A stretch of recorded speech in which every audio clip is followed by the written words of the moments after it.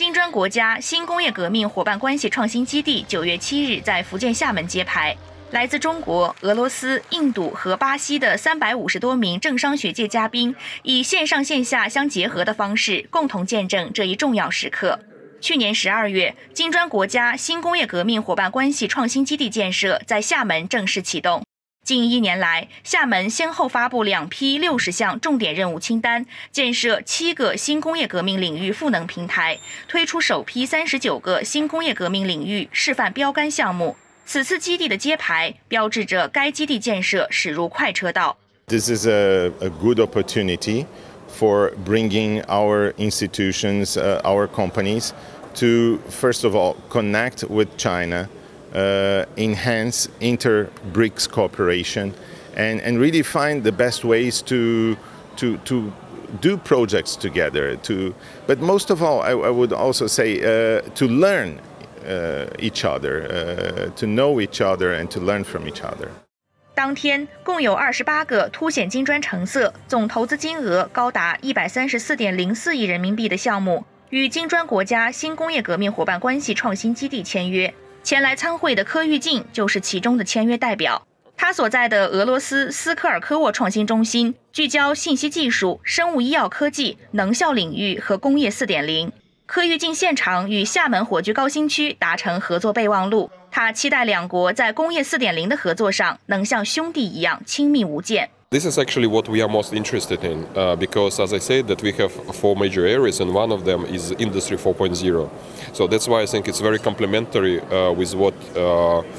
today was launched in Xiamen, and uh, we believe that Xiamen is a good place for uh,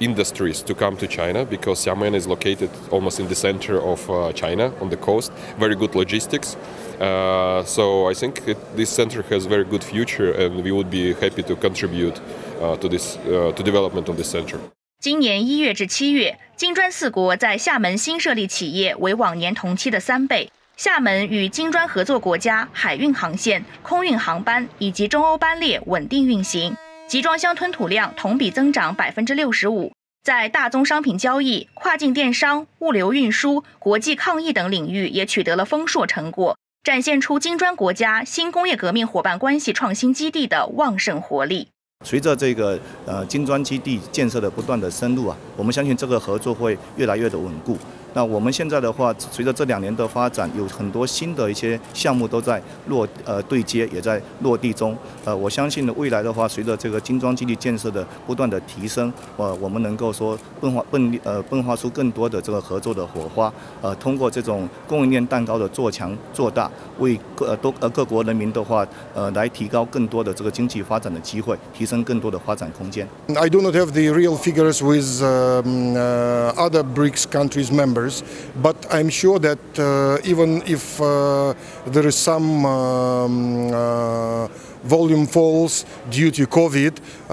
definitely we will continue to actively cooperate in different spheres, including this uh, innovation center, but not only for this. There are different things in uh, industrial cooperation, trade, in logistics, in uh, finance, um, quite wide um, uh, range of cooperation.